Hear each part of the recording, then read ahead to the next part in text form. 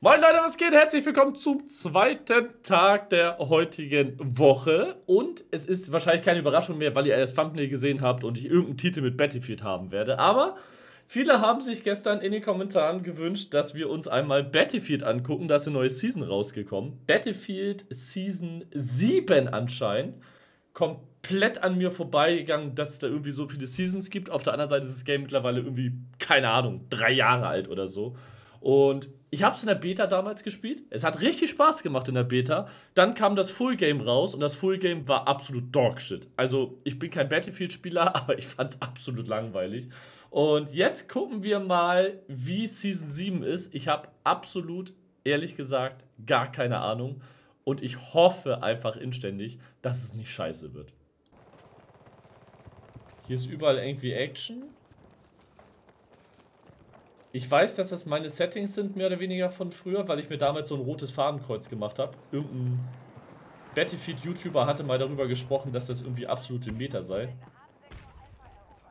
Aber die Tatsache, dass ich hier jetzt gerade erstmal wie wild umherrennen muss, in der Hoffnung, irgendjemanden zu finden, den ich abschießen kann, fuckt mich schon heftig ab.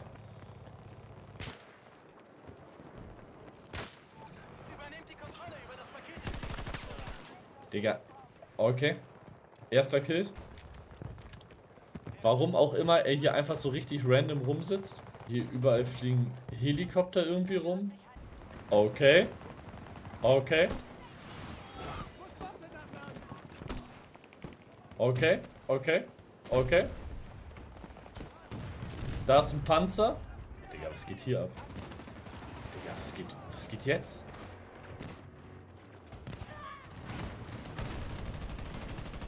Okay, ich glaube, hier macht das keinen Sinn. Granata!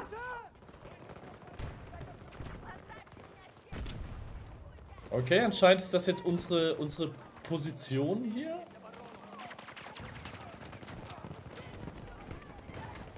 Nur haben wir irgendwie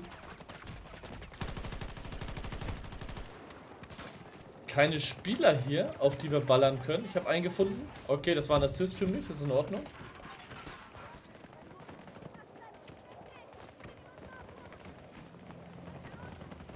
Dahinter. Shit. Okay, anscheinend kann man seine Waffe in der Runde modden. Finde ich ziemlich geil, um ehrlich zu sein.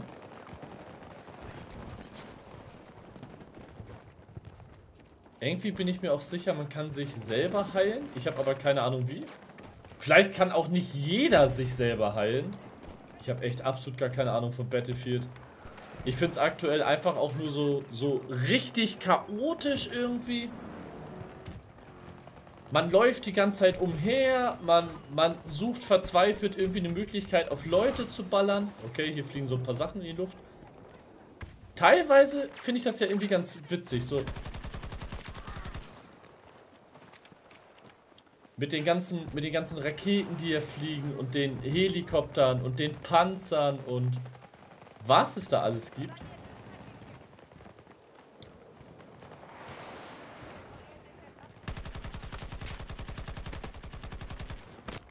Shit.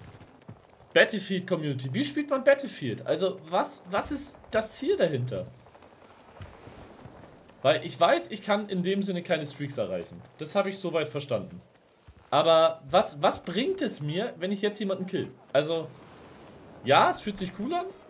Aber irgendwie habe ich das Gefühl, es macht gar keinen Unterschied. Mir fehlt irgendwie so ein bisschen meine persönliche Rolle. Dass ich irgendwas Besonderes machen kann. Oder irgendwas Spezielles. Okay, Selbstheilung. Geil. Da ist einer. Gefickt. Da vorne ist noch einer. Das ist sogar der Typ, der uns eben gekillt hat. Geil Revenge. Noch einer. Zack! Shit. Okay, ich will ehrlich sein, wenn man so zwei, drei Kills nacheinander macht, macht das Spaß. Dann ist das geil. Aber irgendwie fehlt trotzdem so dieser... Ich weiß nicht, wie ich das sagen soll. Dieses... Ich habe das Gefühl, es ist egal, ob ich jemanden kill oder nicht. Ich bin mir auch sicher, ich mache irgendwas falsch.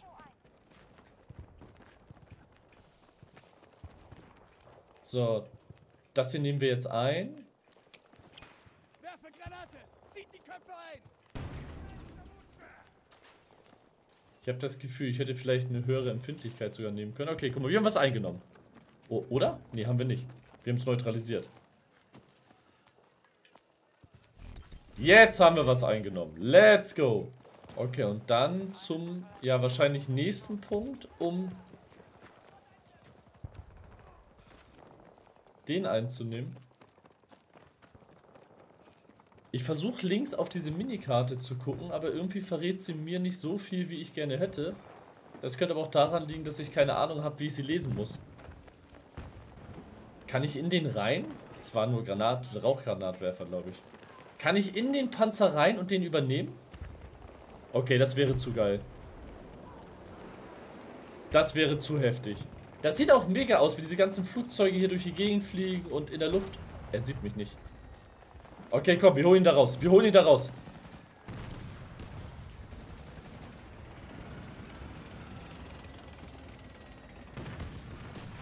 Ja, ich habe ihn. Meiner. Oh mein Gott, wie fährt man das Ding? Oh ja, reparieren, reparieren, reparieren. Let's go, let's go. Geil, sie reparieren es. Wie geil ist das denn? ich glaube, ich habe was Gutes gemacht, aber ich weiß es nicht. oh mein...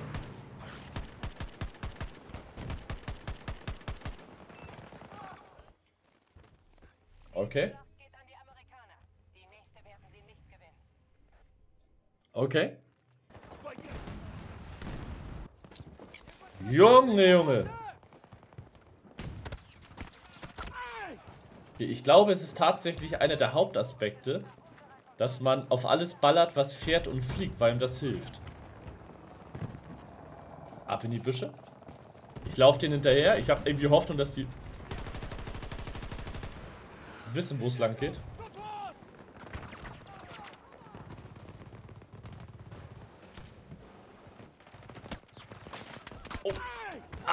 Im Gebüsch. Ich weiß auch nicht. Ich glaube, es kann mich theoretisch jemand wiederbeleben. Aber ich habe keine Ahnung, wie lange man da wartet und ob man das im Battlefield so macht.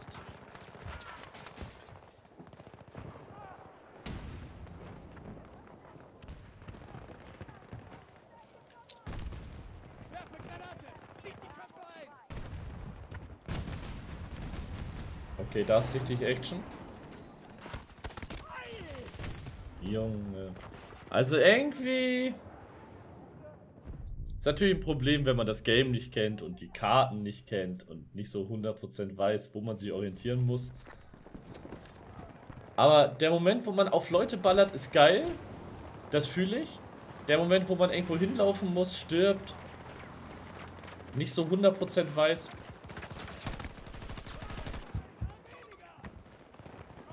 Wo das herkommt, ist dann ein bisschen schwierig, um ehrlich zu sein. Okay, der wird wieder... Der wird wiederbelebt? Okay, der... Oh, shit.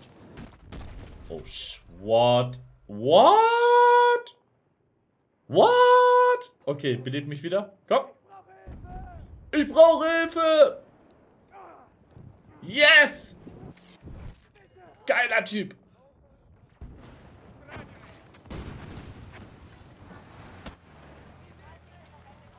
Das ein scheiß Chaos hier. Okay, ich habe mich selbst gehalten. Okay.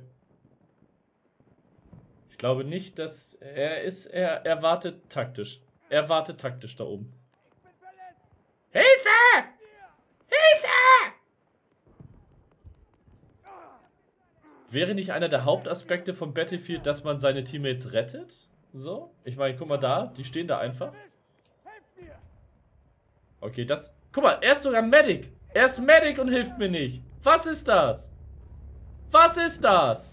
Okay, wir sind anscheinend jetzt in einem Helikopter drin.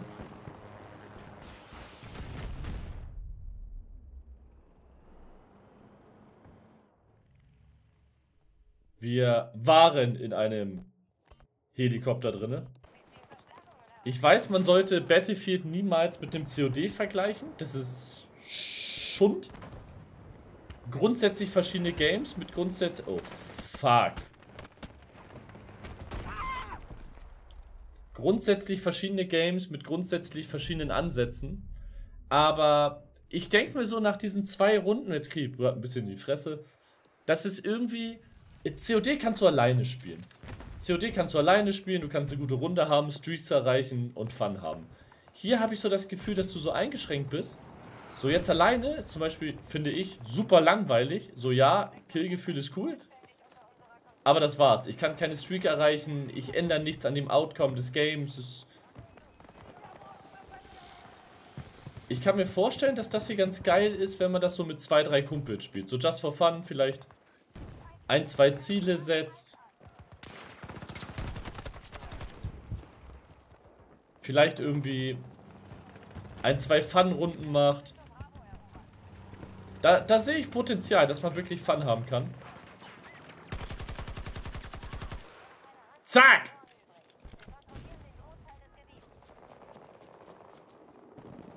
Aber so einfach solo, weiß ich jetzt nicht. Ich, ich sehe mich jetzt nicht, wie ich irgendwie an einem, an einem kalten Nachmittag zu Hause sitze, Battlefield starte, alleine loslaufe und sage, jetzt habe ich Bock. Irgendwie fehlt mir da einiges. Oh, die Granate ist gut.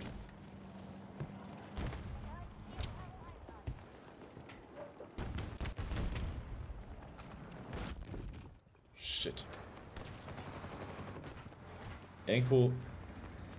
Ich verstehe auch die Hälfte der Zeit nicht, was passiert. Also, manchmal treffen mich Panzer. Okay, das übernehmen wir jetzt. Ich erobere etwas. Manchmal treffen mich irgendwie Panzer. Manchmal treffen mich irgendwelche Raketen. Manchmal irgendwelche Flugzeuge. Ich blick teilweise gar nicht durch, was mich trifft. Oh. Dritter Kill nacheinander. Let's fucking go. Guck mal, so jemanden zu abzufacken, ist geil.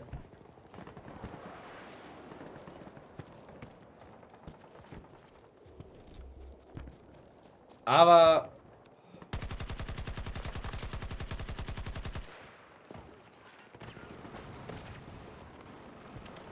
Okay, wir haben Assist bekommen. Alles gut.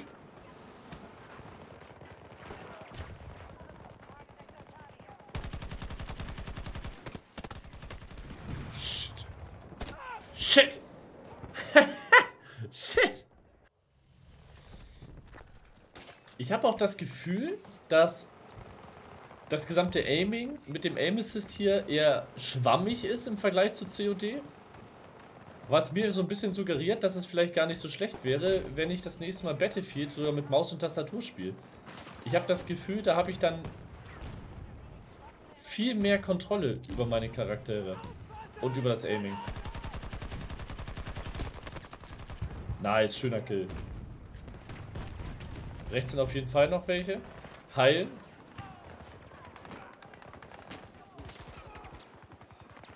Flankieren. Flankieren. Panzer. Gegner. Hier ist immer Action, wo wir gerade sind. Nate raus. Killen. Zack. Gekillt. Nachladen. Heilen. Okay, ich bin direkt in der Action. So ist das geil. Panzer. Panzer. Panzer. Okay. Oh, shit. Es ist schon wieder derselbe! Warum man alle in diesem Game? Mann! Wie komme ich in dieses Ding rein? Shit.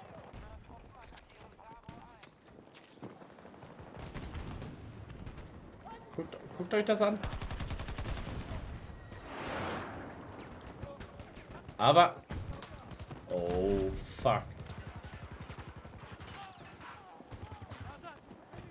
Panzer. Oh mein Gott. Wie kommt man da oben rein? Anscheinend gar nicht.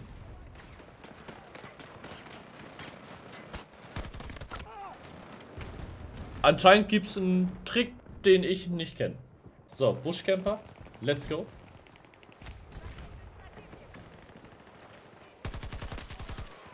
Zack. Oh nein, nein, nein.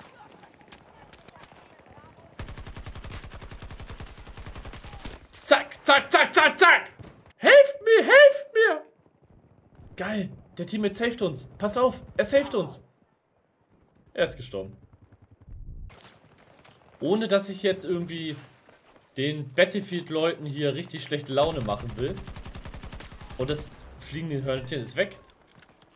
Das ist auch gar nicht böse gemeint, aber ich habe so nach zwei Sessions gerade so richtig das Gefühl, dass dieses Game hier irgendwie richtig gut sein könnte, theoretisch, wenn es einen richtigen Aspekt von Teamplay geben würde. Also ich habe das Gefühl... Oh shit. Shit, zu viele.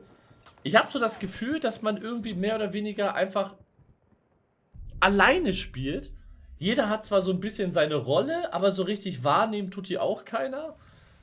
Ich weiß, ob das Map-Design schuld ist oder wie, die, wie das Aufeinandertreffen mit Spielern ist, aber so richtig, man wird kaum wiederbelebt. Das Heilen ist auch eher begrenzt. Also ich kann mich, glaube ich, einmal heilen mit meinem Charakter. Und dann bin ich so ein bisschen darauf angewiesen, dass er von alleine heilt oder mir irgendwie ein Sanitäter hilft, was die halt nie tun. Teilweise dauert es halt viel zu lange um irgendwie zu Gegnern zu kommen, wo, wo halt wirklich dann Spaß ist. Oh, die Nate hat gesessen. Oh, holy moly. Ja, es dauert, wie gesagt, teilweise echt lange, bis man richtig in der Action ist. Wenn man in der Action ist und dort überlebt und Kills macht, ist es mega geil. Aber für, für so ein Entwicklerstudio und EA dahinter und dem Hype, den den dieses Game vorher aufgebaut hat. Okay, ich kann nicht mehr sprinten. Doch, jetzt wieder. Finde ich, ist es insgesamt eher enttäuschend. Ich muss aber auch dazu sagen, ich habe die alten... Wuhu! Ich habe die alten Battlefield-Teile nicht gespielt. Shit. Gewonnen. Nice. Ich habe die alten Battlefield-Teile nie wirklich gespielt. Ich kann also auch keinen Vergleich ziehen zu so, wie es früher war und so, wie es jetzt ist.